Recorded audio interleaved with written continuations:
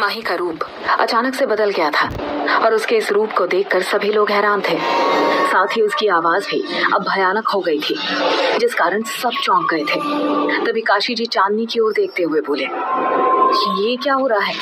माही, ये कैसे? कहते कहते वो हैरानी से रुक गए। तभी चांदनी भी बोली, जिस तरह से आप भी सोच में पड़ गए हैं, हमें भी कुछ समझ नहीं आ रहा कि माही ये कैसे कर रही है। मेरे ख्याल से आत्माओं की दुनिया में रहने के कारण उसकी आत्मा कुछ ज़्यादा ही विकसित हो गई होगी। जहाँ एक तरफ़ काशी जी और चांदनी, वहीं दूसरी तरफ़ वीर सिंह, चेतन मातंड जी भी माही के इस रूप को देखकर हैरान थे। उधर अजरनाथ माही की चेतावनी सुन, थोड़ा सहम तो गया था, लेकिन इस तरह के दृश्य उसके लिए कुछ नए नहीं थे। वो थोड़ा आगे आया और ज़ोर से चिल्लाते हुए खूनी बधू की आवाज़ में बोला, कौन है तू? तू कोई साधारण मनुष्य तो नहीं लग रही? अगर तू कोई आत्मा है तो फ़ौरन इस शरीर को छोड़ दे, वरना इस शरीर के साथ साथ मैं तेरा भी अंत कर दूँगा। ये सुनना ही था कि माही फिर बदली हुई आवाज़ में गुस्से से चिल्लाई।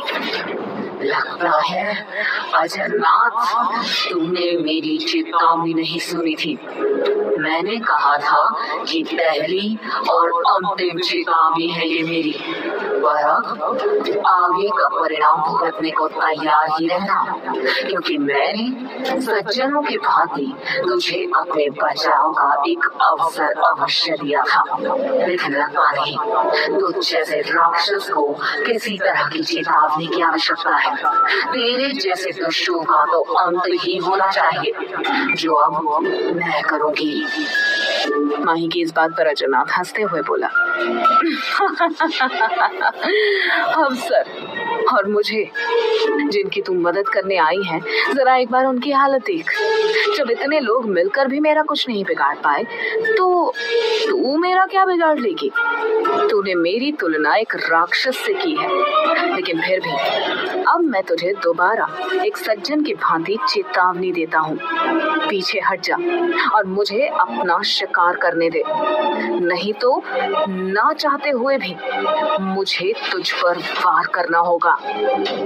ये सुनते ही माही को गुस्सा आ गया। वो थोड़ा और ऊपर हवा में आ गई और अपने दोनों हाथ हवा में फैलाकर ज़ोर ज़ोर से घूमने लगी। उसके इस तरह से घूमने के चलते वहाँ तेज आंधी का चक्रवात सा बनने लगा, जिसकी तीव्रता हर एक सामान को अपने केंद्र की ओर खींच रही थी।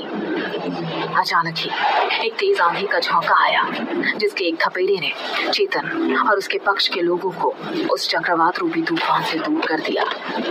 अभी उस तूफ़ान ने अपना विकराल रूप धारण भी नहीं किया था कि अजरनाथ के पैर लड़खड़ाने लगे और अजरनाथ भी उस तूफ़ान की तरफ़ खींचा चला गया। अजरनाथ हवा में उड़कर उस तूफ़ान की चपेट में आ गया और गोल गोल घूमने लगा। तभी माही ज़ोर से चिल्लाते हुए बोली अजरनाथ ये तो अभी आरंभ हुआ है। तेरे पापों का हिस्सा तो बहुत बाकी है। मैं अपने साथ और अपने लोगों के साथ हुए हर कृत्य का भुगतान तुझसे अवश्य लूँगी। इतना कहते हुए उसने ज़ोर से अजरनाथ को उड़ाते हुए फेंक दिया। अजरनाथ कराते हुए बोला खेल अच्छा था। तूने मुझे चोट पहुंचाई। इसकी सजा तेरे ये लोग भुगतेंगे, और साथ में तू भी। मैं एक बार फिर तेरी आत्मा को काली दुनिया से बाँध दूँगा, और फिर देखता हूँ, वहाँ से तू बाहर कैसे आती है। वो तूफ़ान अचानक थमा, और ज़ोर की आवाज़ आई।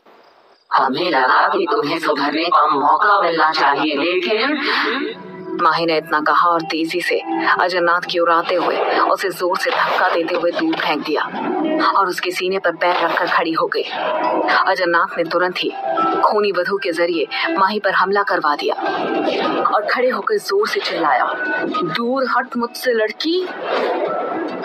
इसके बाद अजरनाथ खूनी वधु को पूरी तरह से कंट्रोल करके माही पर हमला करवाने लगा। खूनी वधु ने हवा के ज़रिए आसपास पड़े छोटे बड़े पत्थर उस पर फेंकना शुरू कर दिया।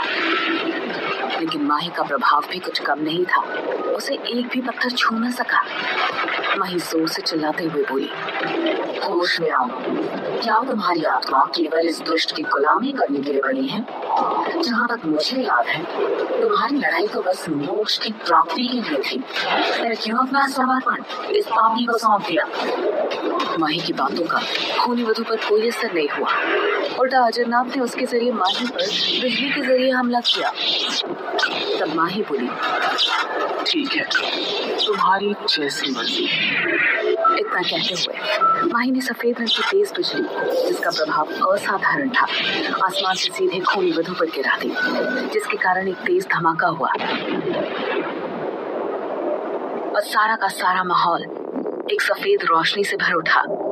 जब रोशनी खत्म हुई तो खूनी वधु कहीं दूर बेहोश पड़ी थी, और अजरनाथ पूरी तरह घायल होकर कहीं और। उसकी हालत खराब हो चुकी थी।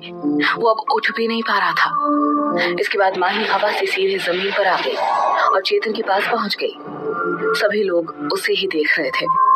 जो काम पिछले तीन चार घंटों में वो लोग मिलकर भी ना कर पाए, माही ने दस मिनट में ही कर दिया।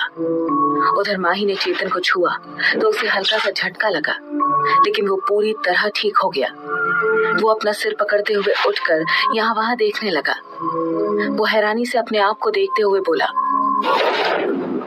माही, ये तुमने क्या किया? और कैसे हुआ ये सब? चेतन खड़ा हुआ और हैरानी से आसपास देखने लगा और बोला, शायद मैंने कुछ मिस कर दिया। आखिर कैसे हुआ ये माही? बताओ तो। जैसे उसने अपने घावों को देखा तो वो पूरी तरह से हैरान था। वो माही की ओर देखते हुए बोला, आखिर इतनी जल्दी मेरे घाव कैसे भर गए? ये कैसा जादू था? तभी माही मुस्कुराते हुए बोली, हर्ष, मैं तुम्हारी मदद के लिए तो हमेशा तैयार रहूँगी। तुम्हारे कारण ही मैं यहाँ दोबारा आ पाई हूँ। ये सुनते ही चांदनी और चेतन दोनों चौंक गए। वो दोनों हैरानी से एक दूसरे को देखने लगे। हालाँकि बाकी लोगों को समझ नहीं आ रहा था कि माही चेतन को हर्ष क्यों बोल रही है। हैरानी का भाव चेहरे पर लेकर मध्यम आवाज़ में, काशी जी ने चांदनी से कहा, मुझे तो कुछ समझ नहीं आ रहा कि ये आखिर चल क्या रहा है। सुन चांदनी हाथ के इशारे से उन्हें रुकने का कहते हुए बोली, एक मिनट रुकिए, पता चल जाएगा। दूसरी तरफ़, माही के मुँह से हर्ष सुनकर चेतन हैरानी वाली खुशी से बोला, अरे तुम माही नहीं तुम तो चित्रलेखा हो? चेतन की बात सुन चित्रलेखा ने कहा, सही पहचाना हर्ष इसके बाद चित्रलेखा दोबारा गंभीर होकर बोली, चेतन, आप सभी को यहाँ से चले जाना चाहिए, क्योंकि वह दुष्ट मरा नहीं है और ना ही खूनी वधु को कुछ हुआ होगा। और एक सुझाव, जितनी जल्दी हो सके, जन्म, मृत्यु, द्वार के रखवाले को उन आत्माओं का दान दे दो और उन्हें हमेशा के लिए छोड़कर आज़ाद हो जाओ। ये शब्द सुनते ही काशी जी उसकी इस बात का विरोध करते हुए बोले, लेकिन हम अभी वो कलश खाली नहीं कर सकते। अगर अजरनाथ फिर से आता है तो हमें उस कलश की ज़रूरत पड़ सकती है। तभी काशी जी की ये बात सुनकर चित्रा दोबारा बोली, मुझे समझ नहीं आता कि मैं आपको क्या कहकर बुला सकती हूँ, पर जो माही कहती है, मैं भी वही कहूँगी। इसके बाद चित्रा ने कहा, पापा, बात यह है कि यदि आपने इस कलश की आत्माओं को इस्तेमाल किया तो काली शक्तियाँ आपसे हर जाने के तौर पर आपका शरीर ही मांग लेगी और हम लोग कुछ नहीं कर पाएँगे, क्योंकि यही नियति का नियम है। काशी जी चेतन और बाकियों से नज़रें चुरा कर बोले, लेकिन फिर भी, जब तक हम कोई और व्यवस्था ना कर ले, तब तक इसे ऐसे ही रहने देते हैं। ये सारी बातें हो ही रही थी कि अंदर छिप कर बैठा कोपर भागते हुए बाहर आया और ज़ोर ज़ोर से चिल्लाने लगा, कुशाद कुशाद, कहाँ हो तुम? सभी लोग उसकी ओर देखने लगे। जंगल के रास्ते पर, जहाँ से खूनी वधु आई थी, कुशाद वहीं बेहोश पड़ा हुआ था। अपने भाई की आवाज़ सुन। कुशाद को होश आ गया। लेकिन जैसे उसकी आँख खुली तो बगल में खूनी वधु बेहोश पड़ी हुई थी, जिसे देख कुशाद घबरा कर उससे दूर हट गया और ज़ोर से चिल्लाते हुए बोला, भूत भूत, भैया बचाओ! कुपत ने जैसे ही कुशाद की आवाज़ सुनी तो वो अपने भाई की तरफ़ भागते हुए जाने लगा। कुपत भी खूनी वधु का चेहरा देख एक पल के लिए डर गया और कुशाद को वहाँ से उठाकर वापस घर की ओर लाने लगा। तभी एकाएक अजरनाथ घायल अवस्था में खड़ा हुआ और कुपत और कुशाद को देखते हुए बोला, अरे नालायको वहाँ क्या कर रहे हो? जाओ, खत्म कर दो सबको। जैसे ही आवाज़ चित्रा के कान में पड़ी तो चित्रा तुरंत उड़कर उनके सामने आकर खड़ी हो गई और उन दोनों को हवा में उड़ाने लगी। वो दोनों ज़ोर ज़ोर से चीख रहे थे। अरे, हमें कुछ मत करो, हम उसके साथ नहीं हैं। बचाओ, कोई तो मदद करो, हम अच्छे हैं। चित्रा उन दोनों को हवा में उठाते हुए अजरनाथ की ओर देखकर बोली अजरनाथ अपनी हार मान लो। वरना हम लोगों को जान से मार देंगे। चित्रा की चेतावनी का अजरनाथ पर कोई असर पड़ने वाला नहीं था। वो अपने कपड़े झटकते हुए उठ खड़ा हुआ और हँसते हुए कहा, मार दो मार दो उन दोनों को। वैसे भी वो अब मेरे किसी काम के नहीं है। ये सुनते ही कुशाद और कुपत दोनों मायूसी से एक दूसरे को देखने लगे। तभी चेतन चिल्लाते हुए आगे आया। नहीं, चित्रा, छोड़ दो उन्हें। वो तो बस अजरनाथ की कठपुतलियाँ हैं।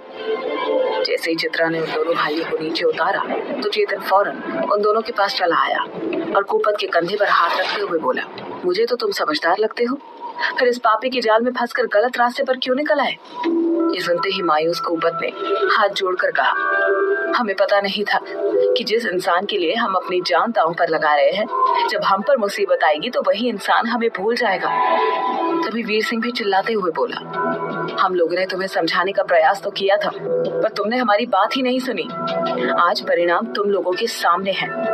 वो जो तुम्हारे बाजू में खड़ी है, कभी भी तुम्हें मार सकती है, लेकिन हम ऐसा नहीं करेंगे। तब काशी जी आगे आकर बोले, जो हुआ वो सब भूल जाओ।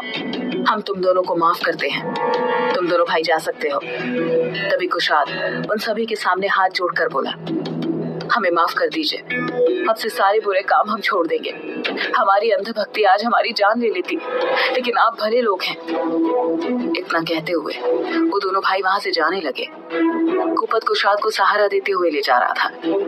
एकाएक कुपत मुड़ते हुए बोला हमें पता है कि हमने बहुत से पाप किए हैं। ये हमारे काम किसी और से करवा कर, उनकी ज़िंदगी बर्बाद करे, इससे अच्छा यही होगा कि इसका अंत कर दिया जाए। याद रखिए, काली शक्तियों का काली शक्ति ही कर पाएगी। इतना कहकर, वो दोनों वहाँ से चले गए। उन दोनों की बातें सुनकर, घायल अवस्था में बैठा अजरनाथ धीरे से बड़बड़ाते हुए बोला, नमक हराम कहीं के वो ये कह ही रहा था कि तभी खूनी वधु भी उड़ते हुए सामने चली आई। उसे देखते हुए अजरनाथ ज़ोर से चिल्लाकर बोला, खूनी वधु, खत्म कर दे उन दोनों भाइयों को। इतना कहकर, वो फिर से खूनी वधु को कंट्रोल करने की कोशिश करने लगा। पर वो बहुत ज़्यादा घायल हो चुका था। इस कारण उसके दिमाग की शक्ति भी कमज़ोर होने लगी थी। दूसरी तरफ़, अजरनाथ को वापस खड़ा होते देख, काशी जी, चेतन के कंधे पर हाथ रख, धीरे से बोले चेतन बस अब इस अजरनाथ का अंत समय आ गया है। खोल दो उसे। चेतन ने भागते हुए आत्माओं वाले कलश को उठा लिया। अजरनाथ ये देखकर घबरा गया और मन ही मन कुछ शब्दों को बड़बड़ाने लगा। तभी चेतन ने उस आत्माओं वाले कलश को खोल दिया। चारों तरफ़ साफ़ मौसम में बादल छाने लगे और तरह तरह की हंसने की आवाज़ें पूरे माहौल में गूंजने लगी। सब तरफ़ एक तूफ़ान जैसा आने लगा। ये देखकर जानवी मारतंड जी और वीर सिंह उस जगह से दूर हो गए। उसी समय काशी जी ने दोनों हाथ हवा में उठाकर मन ही मन कुछ मंत्र को पढ़ा तो वो सारा काला साया काशी जी के शरीर में आकर समा गया। जैसे ही काशी जी ने अपनी आँखें खोली तो उनकी आँखें पूरी तरह से काली हो चुकी थी। उन्होंने बिना एक पल के देरी किए उस काली शक्ति का प्रयोग अजरनाथ के ऊपर कर दिया। अजरनाथ ने मन ही मन मंत्रों के प्रभाव से बचने की कोशिश की, लेकिन काशी जी का हमला किसी तीर के समान अजरनाथ के शरीर को भेद रहा था। अब अजरनाथ पूरी तरह से अपने घुटने पर आ गया और हाँफने लगा। दूसरी तरफ़ खूनी वधु समेत सारे लोग इस दृश्य को देख रहे थे।